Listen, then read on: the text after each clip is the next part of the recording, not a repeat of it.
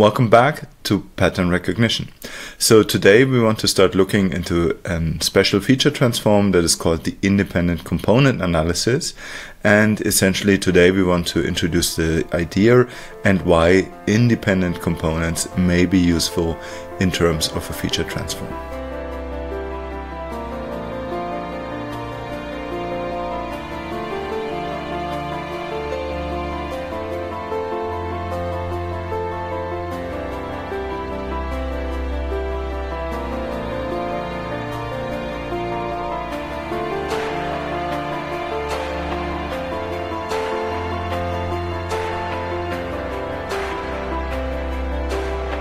So let's have a look at our slides. And the independent component analysis tries to address the cocktail party problem. So here imagine the situation that you have two microphones at different locations and these microphones record some signal x1 and x2 that is dependent on the time. Now each recorded signal is essentially a weighted sum of the speakers in the room. For simplicity, let's assume that there are two speakers in the room. And we can model this essentially as a weighted sum of the two speakers, what we collect in microphone 1 and in microphone 2. So the parameters depend essentially on the distance between the microphones and the speakers. So now we would be interested, of course, to reconstruct the signal from the two speakers.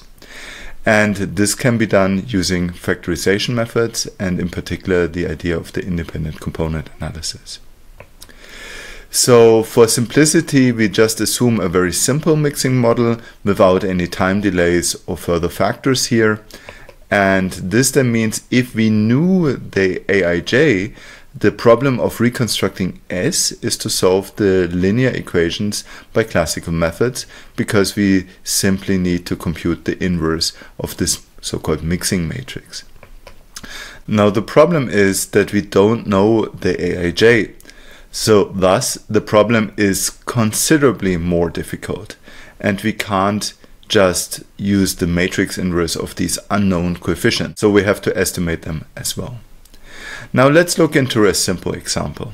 So here I brought two signals, two audio signals.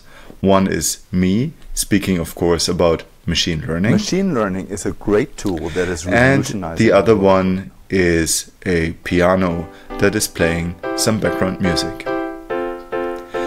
Now you can see that what we would record at the microphone would then typically be a superposition of the two signals.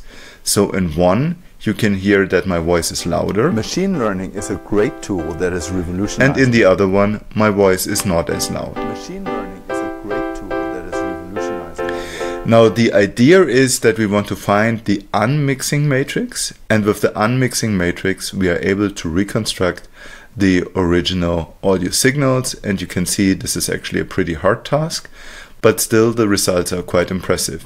So here you can hear my reconstructed voice from the superposition of the two signals. Machine learning is a great tool that is And here you can hear the reconstructed music. So generally the cocktail party problem has many many more applications so it's not just for unmixing two speakers or a sound source in a speaker but generally you can recover speech signals from telecommunications, you can recover images from mixed signals like in MRI and functional MRI. Then there's also examples where you can essentially reconstruct electrical recordings of the brain activity. So this is used in EEG and MEG signals. And of course, it is a popular way of extracting features. And you can even do multispectral image analysis with this. So let's look into the separation of natural image. So here you see that we have four different sources. So it not just works with two sources, but you can also just increase the size of the mixing matrix. And then let's look at a total of four sources. Then you mix them somehow with the input to our independent component analysis. You can see that essentially we are close to not be able to recognize anything on those pictures. And then we perform the independent component analysis, and you can see that it is very well reconstructed. So we see that the different animals can be reconstructed. We also get a reconstruction of the noise. So generally, this is a method that has a broad range of applications. Note that the sequence of the images has changed. So this is a general drawback of the independent component analysis. We don't get a ranking of the inputs. So we still have to look at the outputs and then identify which source has been mapped onto which output channel. Now this was an application in imaging. So we can also use this to analyze brain activity. And here we are actually looking into an MEG acquisition. And you see that the MEG field is actually acquiring a superposition of all the different things that are happening in the brain. So we have a mixed signal that we're observing. And if we now apply an independent component analysis, then we are able to reconstruct different activities in the brain. So we can use this method in order to localize different independent components and regions of activity in the brain. So the common framework is that we have some information about the statistical properties of the signals in order to estimate the mixing coefficients Aij. Now, it turns out that the only statistical assumption that we have to make is that the signals are statistically independent at each time point t. And this then gives rise to the independent component analysis that has been formulated in a unified mathematical framework by Hérault and Jutten in the years 1984 to 1991. So the idea is that we model this as statistical latent variables and we rewrite the time series into n linear mixture observations. And then each mixture xi as well as each component sj are random variables. So we have essentially the xi is computed as a superposition of the signals in a linear way. Now we can also write this in matrix notation, then this would simply be x equals to a times s. And now a is a constant mixing matrix, so this doesn't change. Then we have the latent random variables sj. These are the independent components and both a and sj have to be estimated based on the observations xi. Now this is actually a pretty hard problem because we somehow need to factorize our signals and you will see in the following that this problem is actually not unique. So let's assume that we have a zero mean as we already did in the discriminant analysis. And then we can see that if we had a zero mean, then we can express the expected value of x, x transpose, meaning the covariance matrix, as u times d times U transpose, where this is the singular value decomposition of the covariance matrix.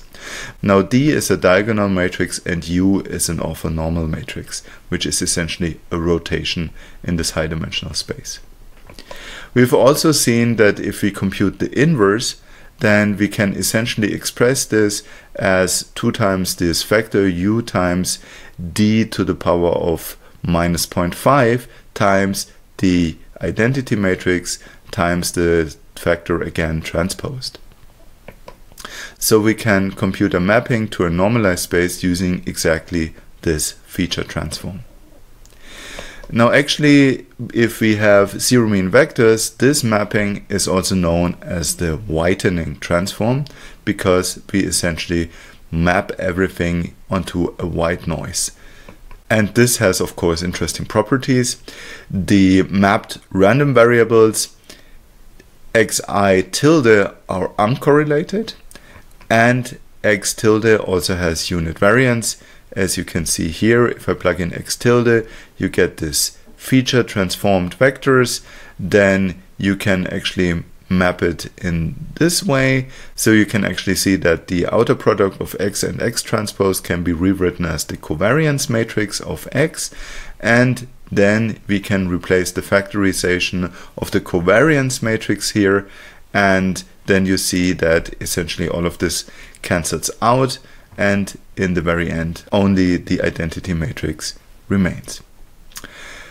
So let's think about the first approach. So we could interpret the mapped random variable x tilde as an estimate of the latent variable model.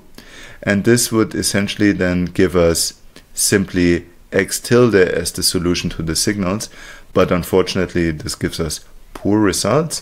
And the main problem is that this whitening transform is not unique.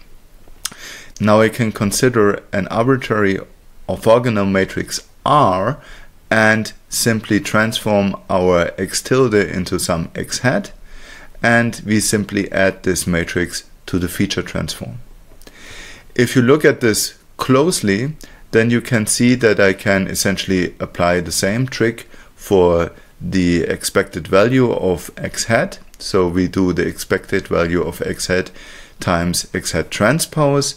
This gives us again a kind of covariance matrix.